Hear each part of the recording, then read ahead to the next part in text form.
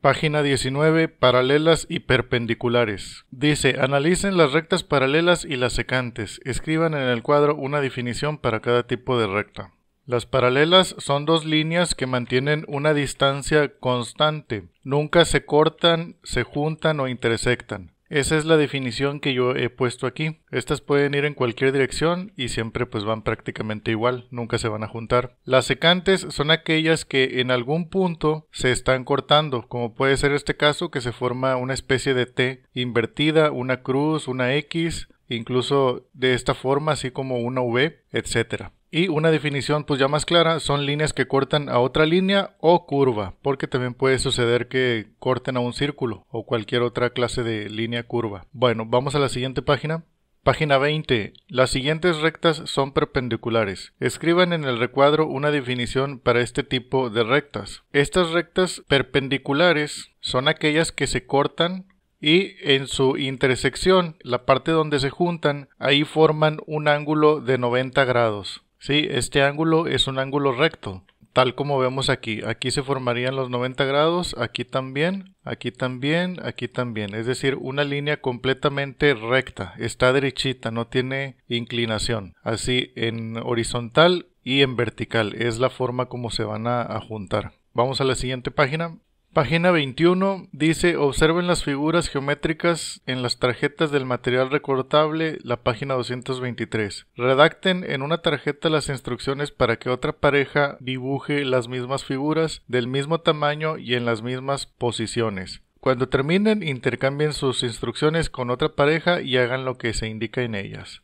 Estos son los materiales de la página 223 lo que nos pedían era que escribiéramos las descripciones, las instrucciones en una tarjeta indicando los procedimientos para que otra persona leyéndolos haga estos mismos dibujos, estas mismas trazos, estas líneas. Y esto se podría lograr entre mejor se detalle y mejor se instruya la manera de cómo se va a proceder. Yo aquí voy a tratar de explicarles cómo se haría. Estamos suponiendo que yo expliqué aquí cómo lo va a hacer la otra persona. La otra persona tiene la hoja en blanco y no tiene ni idea de qué es lo que va a hacer, solamente se va a guiar por esto. Así que entre más detalles tú le des, es mejor. Yo aquí lo estoy haciendo de manera rápida y fácil para que más o menos ustedes tomen una base y ya le agreguen lo que falta. Lo estoy enumerando. Primero, le pido que comience en la esquina superior izquierda, aquí que haga una figura en forma de L, que es esto que está haciendo aquí, esto de verde, incluso lo puse con color. Si se fijan, no le estoy diciendo de qué tamaño, ya ustedes pónganle, no sé, de mídanlo aquí y pónganle 3 centímetros y de acá, pues no sé, de otros 3 centímetros, según lo que chequen. Agréguenle los detalles que faltan, ¿de acuerdo? En este punto él ya hizo esta L, le digo, luego otra en cada esquina girando 90 grados a la derecha en cada nueva copia. Esto significa que él en cada esquina va a hacer otra L, pero va a ir girando 90 grados. Esto se lo voy a mostrar aquí. Yo aquí tengo mi original de L y luego si la giro 90 grados va a suceder esto. El programa me lo permite, mira. Girar 90 grados a la derecha. Sí, en sentido horario, que es el sentido como van las manecillas del reloj. Por eso lo pongo aquí entre paréntesis. Entonces fíjate lo, que va a suceder. Giro a la derecha y se convierte en esta. Y va a continuar con lo que digo aquí. En cada esquina giras 90 grados a la derecha en cada copia. Aquí ya tengo la segunda, aquí va a ir la tercera y lo voy a girar otra vez. 90 grados a la derecha se convierte en esta. Para la siguiente otra vez girar 90 grados a la derecha y se convierte en esta. Porque lo que está sucediendo es que él está tomando el orden de las manecillas del reloj, el cual comenzaría así, digamos arriba y te vas así, ¿verdad? Ese es el sentido de horario, por eso lo pongo aquí. Ahora ya terminamos con estas esquinas, ¿verdad? Continuamos con lo rojo que dice aquí. A la izquierda y derecha, dos líneas verticales paralelas. Pongo entre paréntesis en la orilla y entre las L, para que él más o menos se dé una idea de que se va a ir acá a la orilla, a la izquierda y a la derecha, este, y en medio de estas L's, pues haga estas líneas verticales paralelas. Se le puede detallar mucho más, ¿sí? Ya es cuestión de que ustedes se lo agreguen. Ahora, en el tercero que tengo de azul, escribo a la derecha de la primer L tres líneas paralelas verticales pequeñas. Aquí está la primera L, a su derecha he colocado estas tres líneas paralelas que son pequeñas. No le he dicho de qué tamaño, ustedes le pueden medir y decirle, no sé, son 5 centímetros, son 4 centímetros, etc. Ahora el cuarto, que es el naranja, escribo abajo de estas tres paralelas una X con la abertura de abajo más grande que la de arriba. Teníamos estas tres líneas paralelas del punto anterior, pusimos una X y la abrimos más de abajo y de arriba quedó más cerrada. Ya es cuestión también que le detallen un poquito más, que le digan la distancia, el tamaño, etc. Ahora el 5 en morado lo puse así, al centro y abajo una forma de T inclinada hacia la derecha. Tenemos esta T, ¿verdad? Y la fuimos inclinando un poco a la derecha. No le dije que tanto, ahí sería cuestión de que ustedes le detallen. El 6 lo tengo este rojo. Al centro y arriba una línea horizontal con una pequeña inclinación. Tampoco le dije que tanto, simplemente este detállenle ahí, díganle pues levemente a la derecha, etcétera. El número 7, uno morado. Abajo de esta línea, sí, o sea, de esta roja, una forma de cruz con la línea vertical cargada a la derecha. Viene siendo esta, es decir, que hicimos una cruz, lo cual sería lo original algo así, pero esta línea vertical la hemos cargado un poco hacia la derecha. Tú le puedes detallar también un poco más, ¿verdad? Hacia la derecha y hacia arriba, etcétera. Bien, o la distancia, no sé, si se la has medido con eh, la regla, para que le quede lo más exacto posible. Y esta es la descripción que yo le daría, algo básico, ¿verdad? Ya sería cuestión de que le detallen con más tiempo para esas figuras. Ahora para las siguientes está un poco más fácil. Comenzamos con los rojos, que es una forma de L abajo a la izquierda. Es esto que tenemos aquí. Luego copias en cada esquina girando 90 grados hacia la izquierda en cada una. Ahora es en sentido antihorario. Dijimos que el sentido horario era así, ¿verdad? El antihorario va a ser al revés de cómo va el reloj. Comenzamos con esta primera L como dijimos y le vas a hacer copias en cada esquina y vas a girar, como te digo, en sentido antihorario, que sería en este caso para mi programa 90 grados a la izquierda. Va a suceder esto, se transforma en esta. Y como vamos en sentido antihorario, vamos a ir así, o sea, seguiría esta y luego esta y regresamos. Ahora esta, giramos 90 grados hacia la izquierda también y obtenemos esta. Seguimos girando 90 grados y obtenemos esta y lo, puedo regresar al original girándole otros 90 grados. Entonces ahí está. Luego, tres líneas verticales paralelas cerca del borde derecho e izquierdo entre las formas de L. Esta descripción también te podría servir para esta que hicimos acá con los rojos, porque le estoy diciendo que están cerca del borde derecho e izquierdo, es decir, son tres paralelas así entre estas L que hicimos en los bordes acá de la, del cuadro. Bueno, entonces la siguiente, los verdes. Dos líneas paralelas horizontales cerca del borde superior e inferior entre las formas de L. Sí, lo estamos guiando que se vaya entre las formas de L y que haga líneas horizontales, así, cerca del borde. Ya sería cuestión de que él sepa cuál es la horizontal y cuál la vertical. Si él se confunde y estos los pone verticales, pues ya es error de él. Pero tú le estás diciendo para eso estas instrucciones. Bueno, entonces la última, una X grande justo al centro. Y te digo, tú ya nada más mídele los centímetros, no sé, a lo mejor aquí había 7, 8 y le vas diciendo, ¿no? Pues cada diagonal mide 7, 8, 10 centímetros, etcétera y ponla en, justo en el centro. Y esas son las descripciones para esta segunda figura. Es todo por esta página. Vamos a la siguiente. Página 22 nos pide trazar 10 pares de rectas secantes, es decir, tenemos dos líneas que se van a cortar porque las secantes son las que se cortan. Vamos a hacer estas líneas pues en 10 veces, 10 pares. Yo creo que nada más hice 7, no me acuerdo, ahorita lo vemos. Nos pide 3 que sean perpendiculares y 7 que no lo sean. Las perpendiculares, recuerden, eran las que tienen la línea derechita de tal modo que los ángulos nos van a salir en 90 grados, así, completamente derechitas. Las otras que no son perpendiculares pues son como estas, que tienen cierta inclinación y los ángulos van a ser menores o mayores a 90 grados. Dice, para las rectas secantes que no son perpendiculares, procuren que cada pareja de rectas forme ángulos diferentes, ok, que no sean exactamente iguales, ¿sí? que tengan eh, ángulos y puntos de corte de intersección diferentes. Continuamos y dice que observemos cómo se han formado cuatro ángulos. Y para identificarlos hay que considerar lo siguiente nos dice que se le llama ángulo recto a los que miden 90 grados, los que vimos que se formaban de forma derechita, ¿sí? con las rectas así completamente derechas. Ahí está el ángulo de 90 grados. Estos nos pide que lo marquemos con color azul y que se le llama ángulos agudos a aquellos que miden menos de 90 grados. Esos se van a marcar con rojo. Esos podrían ser los que son más pequeñitos, ¿sí? Claramente van a tener una abertura menor a esto. Y esos hay que marcarlos con rojo. Luego se llama ángulos obtusos a los que miden más de 90 grados pero menos de 180. Estos hay que marcarlos de color verde. Estos pues van a ser los que se miran más grandes, ¿sí? Los que están más abiertos como este caso. Estos hay que marcarlos en color verde. Nos pide que los trazos queden marcados así, ¿sí? Los rojos, los verdes. Y en los otros casos, cuando es exacta la línea, es completamente recta, pues ahí van a ser de azul. Bueno, vamos a ver los casos que yo tengo. En mi caso, yo solamente hice 6 secantes porque tomé una hoja y pues ya no le medí, ya no pude hacer más.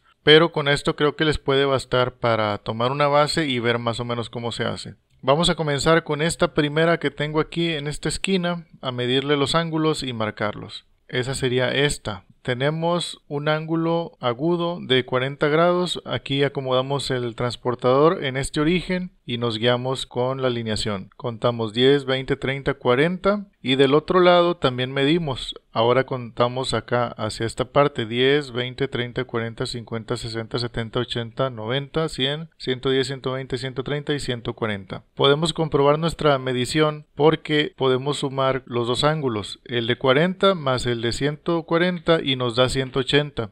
Esta medida de 180 en cierto modo es nuestra base de que está correcta nuestra medición, porque nosotros estamos tomando un semicírculo. Si se fijan, el mismo transportador es la mitad de un círculo. Si tú lo pusieras hacia abajo, obtendrías un círculo completo y esta medida te indica que todo este total, si de aquí hasta acá son 180, por lo tanto es la suma de estos dos. Ya si te saliera diferente es porque a lo mejor aquí te faltó un poquito, si no lo alineaste bien, pero pues básicamente es nuestra base como para nosotros probar que las medidas en las dos nos da 180 es lo correcto, ya que te fijas es un semicírculo. Bueno, vamos al siguiente. El segundo tengo este, sí, es casi como una T, vamos a buscarla. Vendría siendo este. Tenemos de este lado ángulo agudo de 61 grados, contamos 10, 20, 30, 40, 50, 60 y aquí uno más. Y del otro lado tenemos 10, 20, 30, 40, 50, 60, 70, 80, 90, 100, 110, 115 hasta aquí, 116, 117, 118, 119. Nuevamente podemos comprobar sumando 61 más 119 del otro lado nos da también 180, ya que nuevamente tenemos un semicírculo. El tercero es esta que es como una X. Déjenme lo busco viene siendo esta de aquí. Si te fijas, casi casi está derechita, ¿sí? Es como una X, casi una T. Y de este lado nos falta, de este lado nos sobra para llegar a 90 grados. Si no, sí sería una recta perpendicular. Entonces aquí contamos 10, 20, 30, 40, 50, 60, 70, 80. Aquí 85, 6, 7, 8 y 9. Y del otro lado pues nos va a quedar el resto. Aquí lo tenemos 91, 91. Porque 89 más 91, ahí están 180 también. Vamos al siguiente el siguiente sería este, que es una línea aquí con este ángulo muy cerrado, muy pequeño y este muy amplio. Vamos a buscarlo. Viene siendo este de aquí. Entonces tenemos esta parte, te fijas, está muy pequeño, son 19 grados. 10, aquí serían 15, 16, 17, 18 y 19. Y luego del otro lado, toda esta abertura, contamos desde acá. 10, 20, 30, 40, 50, 60, 70, 80, 90, 100, 130, 140, 160 y uno más, 161. Comprobamos sumando 19 más 161, ahí están 180 también. Bueno, vamos al siguiente es este que también pareciera como una perpendicular, sí, una T, déjenme la busco, es esta que tengo aquí, ok, te fijas, anda más o menos cerca, bueno, no tanto, sí, anda más lejos del 90, pero entonces de este lado tenemos uno agudo de 73, 10, 20, 30, 40, 50, 60, 70, 1, 2, 3, y del otro lado eh, lo puedes restar incluso, sabes que tienes 180 en total, entonces tomas 180 menos lo que ya mediste de 73 y te va a salir forzosamente esto, que son 107 y que si lo mides también manualmente lo vas a comprobar 10, 20, 30, 40, 50, 60, 70, 80, 90, 100. Aquí son 5, 6 y 7, ¿sí? Son maneras como puedes ver este, la comprobación de los ángulos. Bueno, entonces vamos al siguiente y último. Tengo este que es como una X más o menos, ¿sí? Vamos a buscarlo que viene siendo este aquí. Aquí tenemos un ángulo de 42 grados, un ángulo agudo marcado en rojo. Contamos 10, 20, 30, 40, 1 y 2. Y del otro lado el resto para llegar a 180 son 138 que lo puedes comprobar si manualmente contando 10, 20, 30, 40, 50, 60, 70, 80, 90, 100, 110, 120, 130. Aquí son 135, 136, 137, 138. Que también si a 180 le restas los 42 que me diste primero, ahí están los 138, sí. Que juntos pues nos da al semicírculo de 180. Bueno, eso es lo que tengo yo para estas líneas secantes son seis, pero habían pedido siete, creo, y otras tres que sean perpendiculares. De las perpendiculares hice creo que nada más dos o tres. Déjenme se las muestro. Que de hecho, pues esas no tiene mucho chiste. Eh, yo creo que es lo más fácil. Tomas la regla y trazas una línea recta, ¿sí? Lo más derecha que puedas, ahí está. Luego después tomas la escuadra y la apoyas en una distancia pues considerable, la que tú quieras. Úsala así para que te salga completamente recta. Y luego ya ahora sí marcas. Y apoyándote así de este modo vas a poder generar tus líneas completamente rectas y sin curvas, completamente derechitas así. Y luego pues simplemente ya compruebas con el transportador, ¿verdad? En este caso pues ahí te va a quedar ese ángulo de 90 grados, que aquí yo lo tengo pues medido. Igual apoyamos el origen y luego cuentas 10, 20, 30, 40, 50, 60, 80, 90, ahí te quedó completamente derecho. Los otros ángulos también, porque acá de este lado, acá puedes observar que están 90, estás completamente en medio. Luego aquí simplemente yo lo que hice pues fue girar la, hoja porque básicamente es, lo que puedes hacer, o sea, tienes esa misma línea, esa recta, pues ahí te apoyas para verlo. Y sería prácticamente lo, lo que puedes hacer, o sea, no tiene tanto chiste, simplemente vas a tomar una línea y con que la otra salga completamente derecha, ya lo único que te restaría es hacer posiblemente otra línea por acá completamente derecha, ¿sí? No variaría en absolutamente nada porque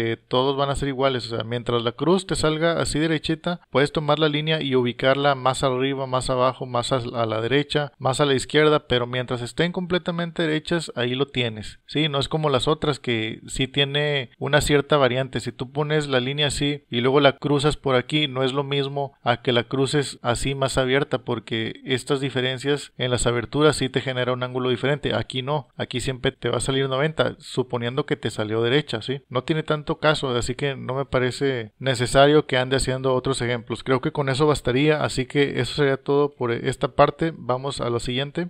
Página 23. En la siguiente malla identifiquen ángulos agudos, obtusos y rectos. Márquenlos con un color diferente. Bueno, los agudos son los que miden menos de 90 grados, los obtusos son los que miden más de 90 y menos de 180 y los rectos son los que miden 90 grados. Esto yo lo imprimí en una hoja un poco más grande para poder acomodar el transportador y tener un poco más de certeza a la hora de medir. Lo que hice fue imprimir la hoja un poco más grande y luego acercar un poco más eh, eh, la medida hacia esta parte en concreto ya que como es un patrón que se está repitiendo basta con que mida un solo cuadrante. Así que de este modo acomodo primero el transportador aquí en esta parte tomándolo como origen y luego acá veo que tengo 10, 20, 30 y 2 más o menos es un poco la cantidad ya que como se distorsiona la imagen aparte aquí creo que está un poco chueco pero más o menos ahí se le podría tantear que serían entre 32, 33 más o menos de grados. El chiste es que ustedes identifiquen eh, a qué tipo de grado pertenece, ¿no? Si es agudo, recto, obtuso. Ya lo de la precisión pues eso ya quedaría un poco más detallado para que tomen un marcador un poco más fino y tengan un poco más de precisión. Bueno, lo mismo para este caso de este lado tenemos otro ángulo de abertura de 32 grados. Yo lo redondeé así, pero como pueden ver podríamos decir fácilmente que son 32.5, 33 incluso. Bueno, vamos a otra parte del cuadrante del dibujo.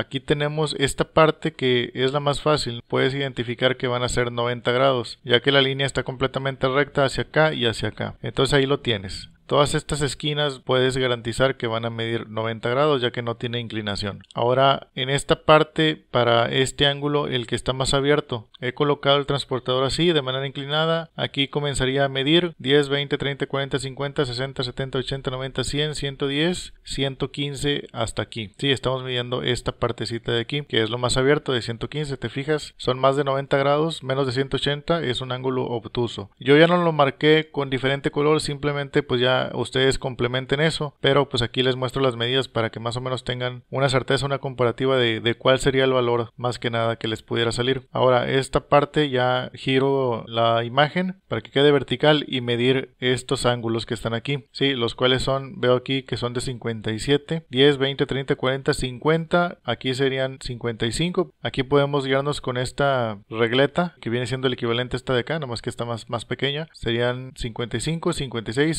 57, de hecho podrían ser 58, 57.5, algo por ahí es más o menos lo que te va a salir. De este lado igual, ya que te digo, es la repetición lo que está de un lado del otro, es lo mismo. Así que esos serían los ángulos que estaría midiendo, creo que son todos.